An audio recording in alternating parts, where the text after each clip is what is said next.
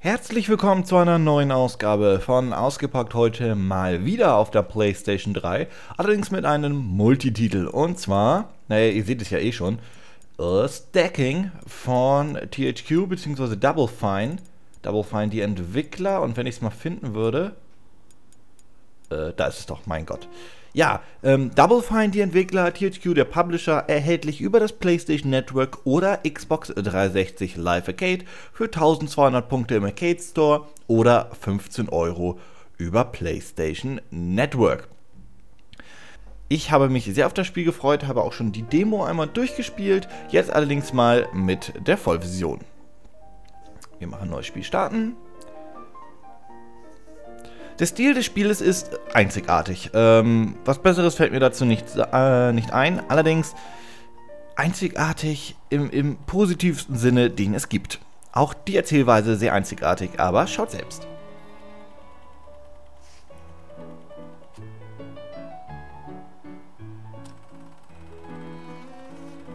Papa!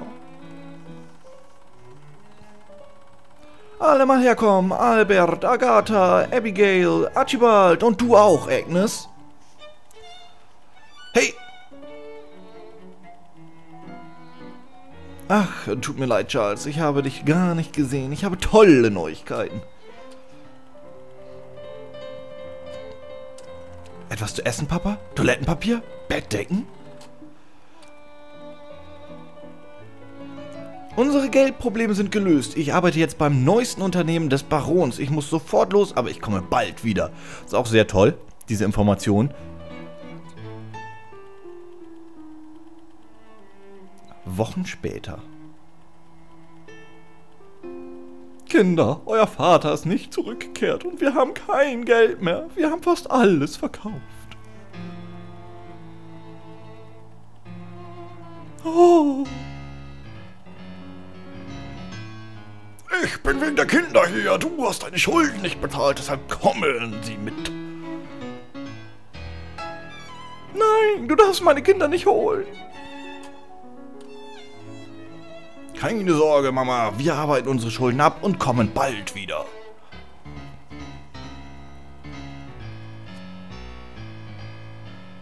Du kannst bleiben. Wir brauchen Leute, die hart arbeiten können, keine Zwerge.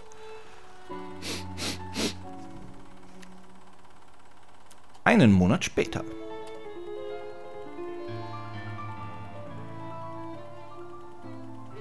Mama, wir wurden ausgetrickst. Die Männer des Barons haben mich und andere Kinder im königlichen Bahnhof festgesetzt. Albert. Mama, ich werde Albert suchen. Aber Charlie, was hast du vor? Die Männer des Barons sind gefährlich. Denk dran, dass wir die Blackmores sind, Mama. Wir kriegen alles hin. So, ich lasse das jetzt mal mitten erzählen. Ich glaube, das geht euch sonst ein wenig auf den Nerv. Am nächsten Bahnhof.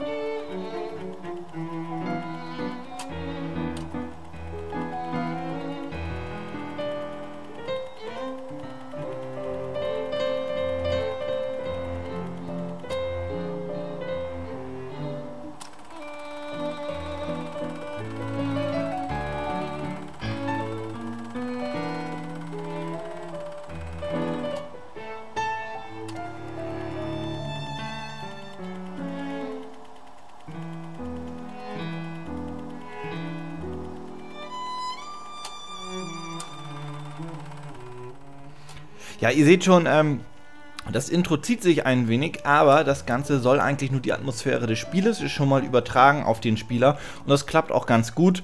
Äh, ich weiß, der eine oder andere wird rummöbeln, oh, das ist so ein langes Intro für eine Kate-Spiel, bla bla bla. Ähm, finde ich nicht, weil es ganz gut die Stimmung trägt. So, wir sind in-game. Ja, wir sind diese kleine Figur hier unten. Das habt ihr bestimmt schon bemerkt. Mit dem linken Stick können wir uns bewegen. Übrigens, bevor ihr natürlich wieder Mods, ähm, das machen die Leute auf YouTube immer ganz gern, dass das irgendwie ein, ein wenig ruckelig aussieht. Ähm, es, es, ruckelt nicht. Das ist so ein bisschen der Stil. Das lässt sich jetzt höchstwahrscheinlich auf YouTube nicht ganz wieder zeigen, weil YouTube nur auf 25 Frames pro Sekunde die Videos zeigt und wir hier nur mal mit 50 Frames das Ganze aufnehmen. Ähm, also keine Sorge, es ruckelt nicht. Das ist so ein bisschen der Stil und es ist sehr, sehr cool und gelungen. So. Hey Charlie, komm her. Ja, mit den Vierecksknopf können wir reden. Hab keine Angst, mit Leuten zu sprechen. Das ist der beste Weg, Hilfe zu bekommen. Dankeschön nochmal zum Erneudrehen. Viel Glück bei der Suche nach deinen Brüdern, Charlie. So. Und jetzt gehen wir hier runter. Jetzt muss ich sagen, ich habe die Demo also schon gespielt. Das heißt, ich kann euch so ein wenig schön viel zeigen. Es ist also kein richtiges ausgepackt. Eher so eine kleine Preview, aber eigentlich ist ausgepackt ja immer eine Preview. Naja, wie auch immer. Was ausgepackt nicht ist, meine lieben Leute, und das wisst ihr hoffentlich, es ist kein Review.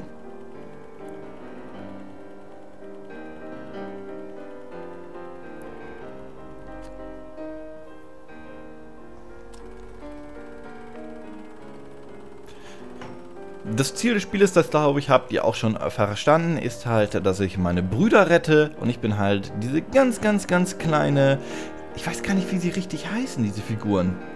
Diese Steckfiguren, ich weiß gar nicht, heißen sie wirklich Steckfiguren? Ich kenne sie nur als, als diese russischen, äh, ja, ich weiß aber nicht, ob sie Steckfiguren heißen. Das werde ich gleich mal, wenn ich hier mit dem Video bin, fertig bin, googeln. Aber ihr könnt es ja auch mal in die Kommentare schreiben.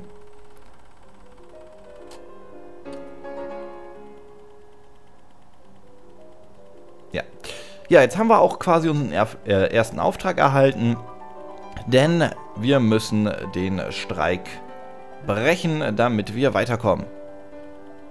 Und wie das geht, das werdet ihr gleich sehen.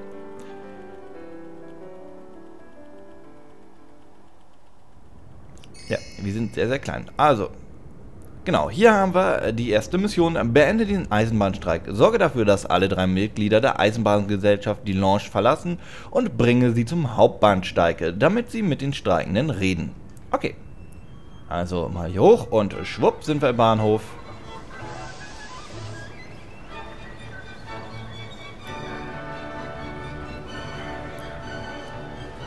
Fliegen wir einmal mit einer wunderschönen Kamerafahrt durch das Vorgebäude.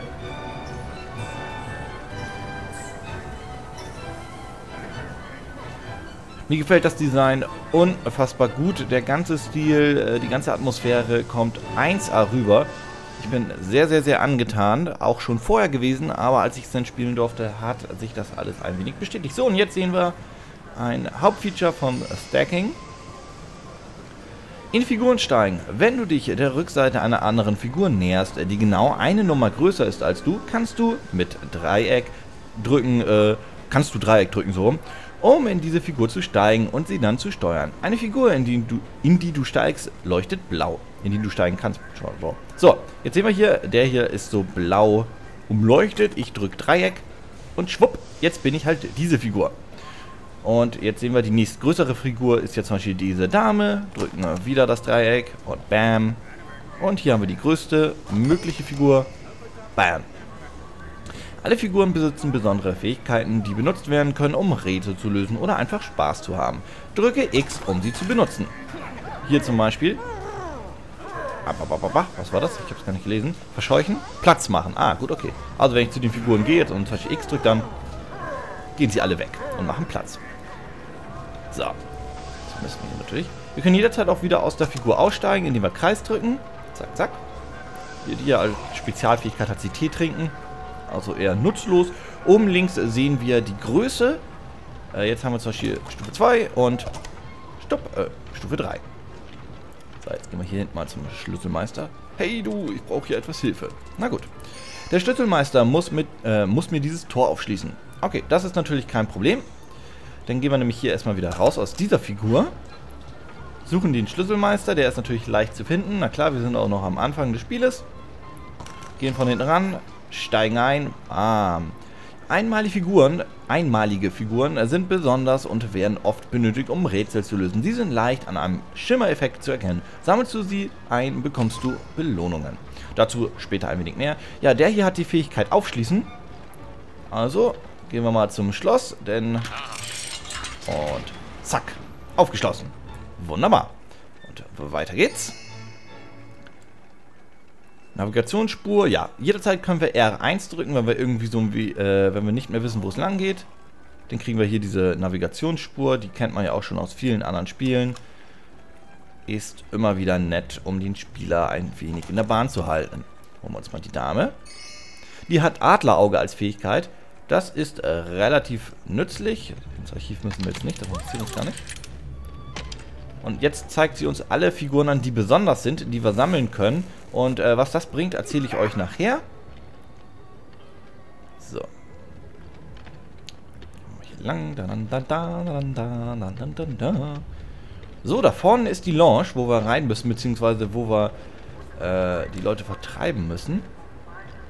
Hey du, komm her und sprich mit mir. War das du? Du siehst neu aus, also möchte ich, dass du verstehst, wie wichtig das Reden ist. Dankeschön, sehr freundlich.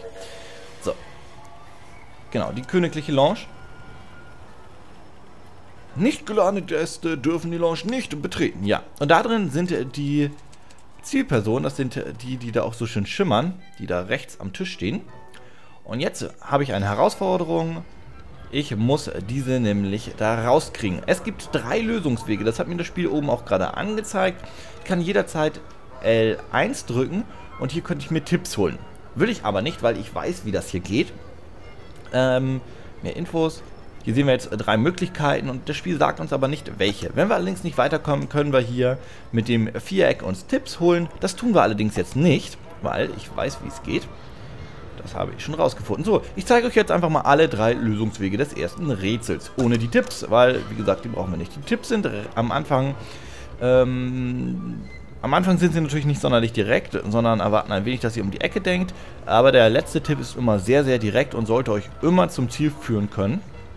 Zumindest am Anfang. So, also wir kommen da nicht rein. Also, machen wir mal Lösungsweg 1. Der ist auch eigentlich der simpelste. Wir müssen in die kleinste, nein, nicht in die kleinste, in die zweitkleinste Figur. Nehmen wir hier nämlich den, hopp, den Mechaniker. Der Mechaniker geht hier hin, hat nämlich als Fähigkeit Warten. Ergo machen wir die Ventilator kaputt und können jetzt hier durch. Und schon sind wir in der Lounge. Ganz, ganz simpel. Dann wir zu den Typen hier gehen. Bitte zeig sofort deine Einladung. Jetzt drücken wir Reden. Ein ungeladener Gast, die Stimmung ist dahin. Sofort alle raus. Ja, jetzt äh, nicht sonderlich logisch, aber soll es auch nicht sein. Und damit haben wir das erste Rätsel schon gelöst. Anscheinend darf hier wohl jedes Gesindel rein. Lasst uns diesen Ort verlassen. Und schon hauen unsere drei Zielpersonen ab. So. Das ist Ziel Nummer 1. Ich zeige euch allerdings auch gleich Ziel Nummer 2, bevor ich hier äh, meine Mission zu Ende bringe. Die ist nämlich ein wenig... Na, eigentlich nicht. Die kriegt man ganz gut hin, wenn man mal zuhört, was der Typ da hinten immer sagt. Denn der sagt, wenn man hingeht, äh, ich darf mich nicht immer von schönen Weibern ablenken lassen und so weiter und so weiter. Also holen wir uns ein schönes Mädel und da hinten ist eins.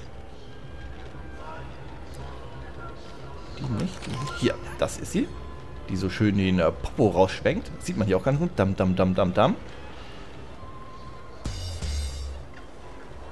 Das machen wir mit der Verführenfähigkeit. Drücken halt X und dann schüttelt sie so den Popo. So, jetzt bleiben wir so stehen. Steigen hier aus, holen uns ihn und bam, haben wir wieder Zugriff. So, um in die Lounge zu kommen, selbe Prinzip wie gerade eben. Wir watschen durch zum Kellner. Hallo, mein Kerl. Raus, bewache diesen Saal, sonst bekommen noch, äh, sonst kommen noch unerwünschte Gäste raus, äh, rein. Mein Gott, alle raus. So. So, das war Lösungsstufe 2. Beziehungsweise Lösungsweg 2. Jetzt gibt es noch den dritten. Der ist auch nicht ganz so simpel am Anfang zu erkennen, wenn man keine Tipps hat. Der ist nämlich nicht so offensichtlich, auch nicht, wenn man die Leute anspricht. Jetzt brauche ich aber erstmal... Zack. Zack. So, jetzt muss ich hier mal gucken, wo er ist. Zuerst Platz machen? Nein. Jetzt muss ich mal gucken.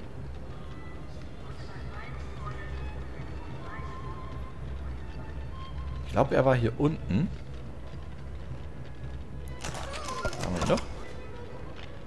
Genau. Diese Person, das ist nämlich der Koch, der kann blähen. Oder ist es der Koch? Habe ich gerade gar nicht gelesen.